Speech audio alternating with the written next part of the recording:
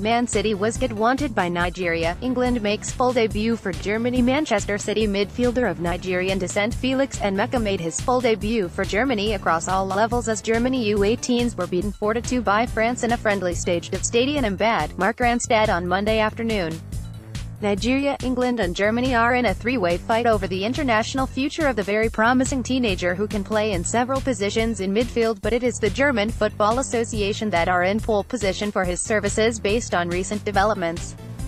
The English Football Association handed Felix Nmecha a call-up to join the U18 team for their friendlies this month against Qatar, Argentina and Belarus, while the Nigerian Federation are keeping tabs on his progress ahead of the 2019 FIFA U20 World Cup. Having represented England at U16 level, the central midfielder made his maiden appearance for Germany U18s off the bench in their 2-2 draw with France on March 23. Today, Monday, Germany U18s manager Guido Streichsbier named Nmecha in the starting lineup in the second game against the same opponents and the City youngster was on the pitch for 83 minutes before subbing out. His brother Lukas Nmecha was initially included in England U20's squad list for their games against Poland and Portugal, but the striker withdrew from the squad citing injury.